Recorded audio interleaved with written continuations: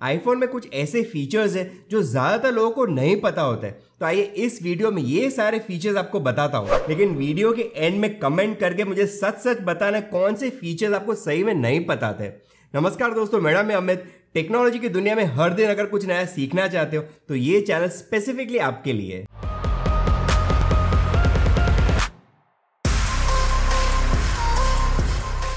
आपको ये तो पता ही होगा कि आईफोन में आप ड्रैग एंड ड्रॉप कर सकते हो।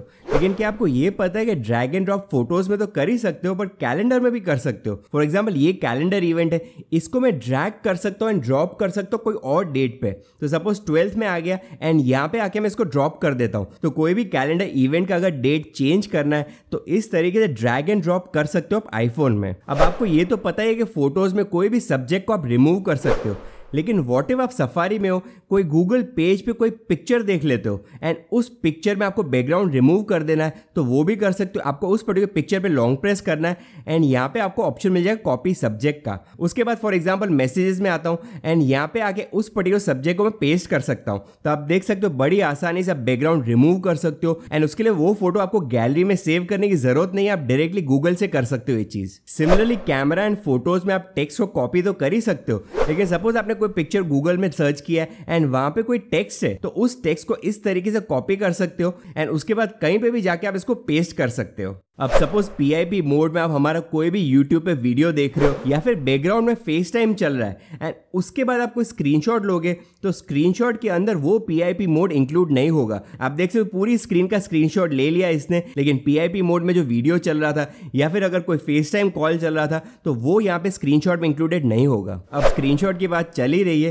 तो यूजली हम कोई भी बॉक्स या फिर एरो ऐड करने जाते हैं तो सबसे पहले प्लस में आते हैं, फिर इस एरो पे क्लिक करके जो चीज़ हम दिखाना चाहते हैं स्क्रीनशॉट पे, वो हम कर लेते हैं। लेकिन इतना अगर लंबा चौड़ा मेथड आपको फॉलो नहीं करना है तो एक और तरीका मैं आपको बता देता हूँ। तो फॉर एग्ज़ाम्पल यहाँ पे मैं एरो बना देता हूँ। जैसे एरो में कंप्लीट करूँगा, उसके बाद एंड में मेरे को इसको लॉन्ग प्रेस करके रखना है। जैसे मैं इसको होल्ड करके रखूँगा, एक प्रॉपर एरो यहाँ पे बन जाएगा। एंड सिमिलरली अगर मेरे को कोई बॉक्स बनाना है तो वो भी कर सकता हूँ। सिर्फ़ इतना ही करना है एंड में मेरे को इसको लॉन्ग प्रेस करके रखना है। एंड यहाँ पे प्रॉपर एक बॉक्स बन के आपको मिल जाएगा। अब जो भी आपके फ्रेंड को आप दिखाना चाहते हो, आराम से आपका स्क्रीनशॉट आप सेंड कर सकते हो उसको। अब अगर आप अपने एग्ज़ाम के लिए प्रिपेयर कर रहे हो या फिर सो रहे हो एंड आपका जो नेबर है, काफ़ी नॉइजी आपको डिस्टर्ब हो रहा है तो आपके आईफोन में एक बहुत ही बढ़िया फीचर आपको देखने को मिलता है। एंड उसके लिए हम आएँगे सेटिंग्स में। सेटिंग्स में हमको आना है एक्सेसिबिलिटी में। यहाँ पे आपको एक ऑप्शन मिलेगा ऑडियो विजुअल ऑडियो विजुअल के अंदर आपको आना है बैकग्राउंड साउंड में। अब यहाँ पे साउंड में आने के बाद अफकोर्स आप रेन स्ट्रीम ओशन ये सब तो कर ही सकते हो। लेकिन यहाँ पे आपको balance noise and bright noise का भी ऑप्शन मिल जाता है।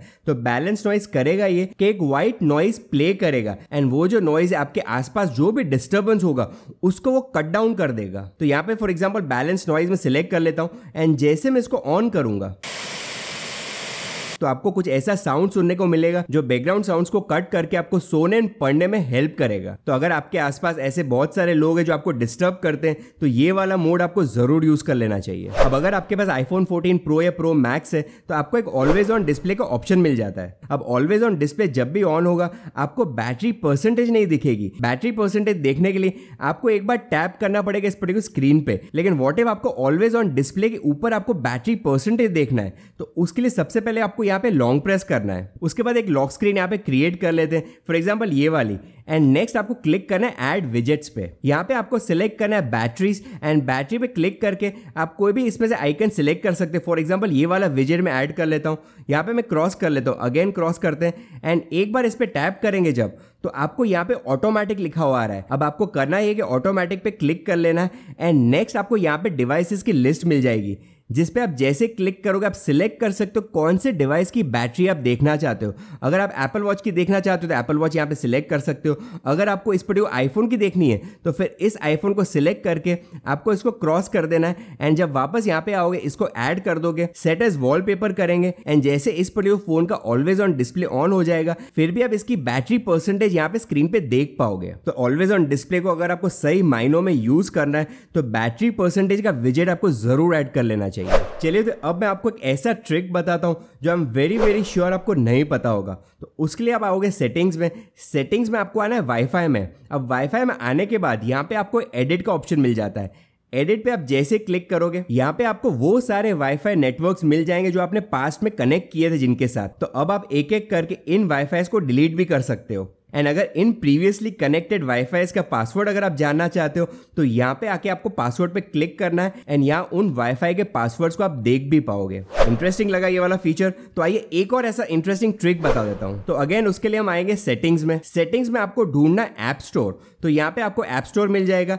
ऐप स्टोर में आने के बाद यहाँ पे आपको इन ऐप कंटेंट दिख रहा है, जो आपको टिक मार्क कर लेना है। अब ये करेगा क्या? तो कोई भी नया ऐप आप इंस्टॉल करते हो फॉर एग्ज़ाम्पल कोई गेम आपने इंस्टॉल कर ली तो जैसे आप इंस्टॉल करोगे, कुछ एडिशनल डाउनलोड्स होंगे उस पर्टिकुलर गेम के अंदर, जो इंस्टॉलेशन के बाद डाउनलोड होने चाहिए एंड उसके बाद ही आप उस गेम को खेल पाओगे। तो ये सेटिंग बेसिकली ये करेगा कि जैसे वो इंस्टॉल हो जाता है, साथ में साथ में बैकग्राउंड में उस पर्टिकुलर गेम में जो भी कॉन्टेंट है, वो भी डाउनलोड होना शुरू हो जाएगा। तो सिंस वो कंटेंट प्रीलोड हो जाएगा तो आपको वेट करने की ज़रूरत नहीं है। आप इंस्टॉलेशन एंड कंटेंट डाउनलोडिंग एक साथ कर सकते हो एंड आपके फ़र्स्ट लॉन्च पे वो गेम रेडी हो जाएगी। अब यहाँ पे मेरे को एक कंफ्यूजन था। आई एम श्योर आपको भी ये सेम कंफ्यूजन होगा। That is in app content and background app refresh क्या है? सेम चीज़ है। तो कंप्लीटली डिफरेंट चीज़ है।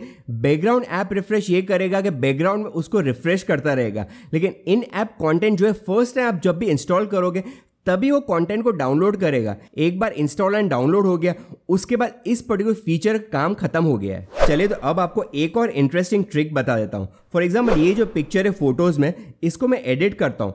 एंड यहाँ पे मेरे को क्रॉप करने का ऑप्शन मिल जाता है। अब ऑफकोर्स इसको मैं वेरियस फॉर्म्स में क्रॉप कर सकता हूँ। मैं फ्री फॉर्म भी यूज़ कर सकता हूँ। मैं इधर से इस बॉर्डर को मूव करके भी क्रॉप कर सकता हूँ। लेकिन यहाँ पे आपको एक हिडन ऑप्शन मिल जाता है। दैट इज़ ऊपर आप देखोगे, यहाँ पे आपको ऑटो क्रॉप का ऑप्शन मिल जा रहा है। इस पर आप जैसे क्लिक करोगे तो ऑटोमेटिकली क्रॉप करेगा। तो अगर कोई ऐसा पिक्चर है जिसमें बहुत ज़्यादा आपको मेहनत नहीं करनी है तो यहाँ पे ऑटो क्रॉप भी आप कर सकते हो। अब अगर आपके पास आईफोन 14 प्रो या प्रो मैक्स है तो ऑफकोर्स आपको उसके साथ में डायनेमिक आइलैंड देखने को मिलता है। लेकिन इस डायनेमिक आइलैंड को अगर आपको और भी ज़्यादा क्रिएटिव बनाना है तो ये वाला ऐप आपके बहुत काम आएगा। इसका नाम है पिक्सल पैल्स तो जैसे ये ऐप ओपन करोगे, यहाँ पे फॉर एग्ज़ाम्पल कैट मैंने सिलेक्ट किया था, आप देख सकते हो कैट आपको दिखेगी एंड ये कैट डायनेमिक आइलैंड के आसपास घूमती रहेगी। सिमिलरली आप कोई और आइकन भी यहाँ पे सिलेक्ट कर सकते हो। लेकिन फ़िलहाल हम कैट सिलेक्ट कर लेते हैं। And next always show pixel pal पे आप सिलेक्ट करने के बाद एक्शन भी सिलेक्ट कर सकते हो उस पर्टिकुलर कैट का। वेदर आपको रन करवाना है स्लीप करवाना या फिर सिर्फ़ चिल करवाना है आपके डायनेमिक आइलैंड के ऊपर। एंड ऑफकोर्स इस ऐप को आप जैसे क्लोज करोगे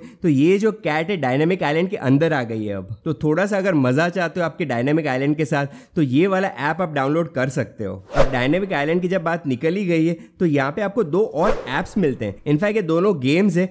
एक है हिट द आइलैंड एंड दूसरा है डोंट हिट द आइलैंड तो मैं दोनों ही गेम्स आपको दिखा देता हूँ। आपके पसंद के हिसाब से इस पर्टिकुलर ऐप को आप डाउनलोड कर सकते हो।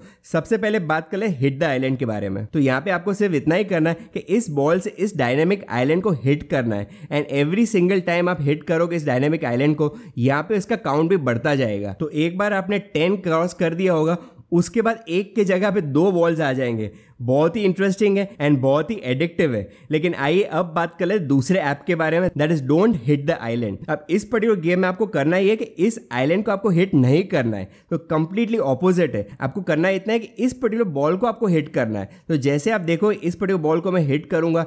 आइलैंड को अगर हिट हो गया तो एक प्रॉब्लम है। तो आप देखते जैसे मैंने आइलैंड को हिट किया तो गेम ओवर हो चुकी है। तो कमेंट करके मुझे ज़रूर बताना, इनमें से कौन सी गेम आपको ज़्यादा पसंद आई?